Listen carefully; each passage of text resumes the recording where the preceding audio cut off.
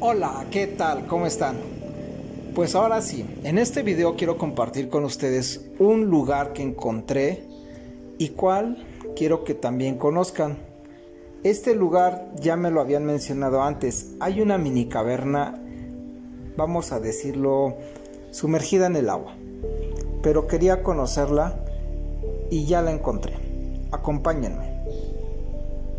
Este camino está a la orilla del río. Esto es en el estado de Hidalgo.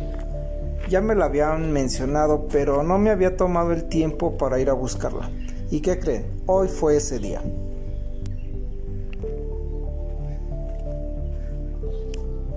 Por lo tanto, quiero compartir con ustedes esta experiencia. Miren, este río es muy bonito, lástima que está contaminado. Como ustedes saben, ya todos los ríos están muy contaminados. A ver qué se va a hacer en un futuro porque tenemos que rescatarlos.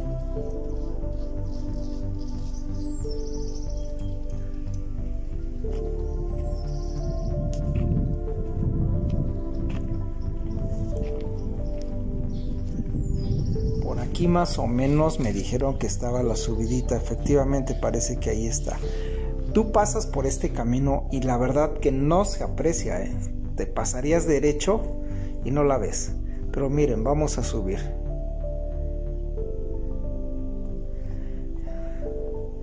Por aquí, por acá se puede pasar mejor. Aquí hay mucho lodo. Se ve que es de la misma agua que sale de la caverna.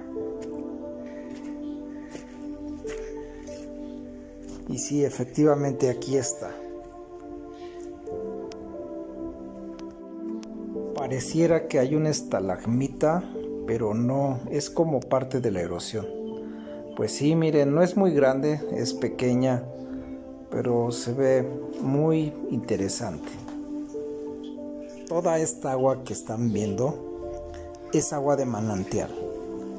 Más o menos para que se den una idea, estamos como a unos 60 metros de altura, más bien de profundidad, porque el poblado estará a unos 60 metros a nivel del piso y nosotros estamos unos 60 metros abajo. Esta agua es limpia. Miren el interior, se ve muy bonita.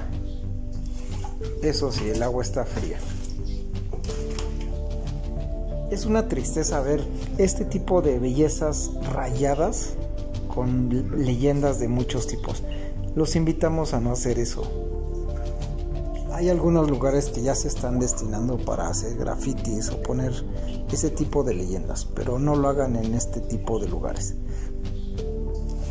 Como ustedes pueden ver, pues no es muy profundo, está muy bajito, pero fue interesante conocer este lugar y pues también quise compartirlo con ustedes.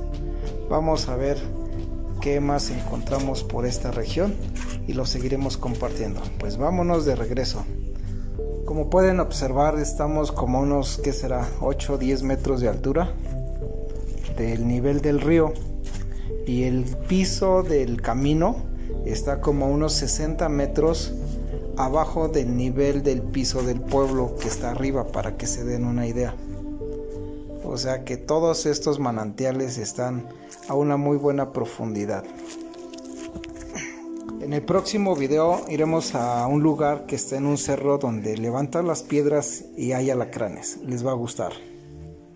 Quiero enviarle un gran saludo a Bautista Rivera y a todas las personas que nos están viendo. Nos vemos en próximos videos. Hasta pronto.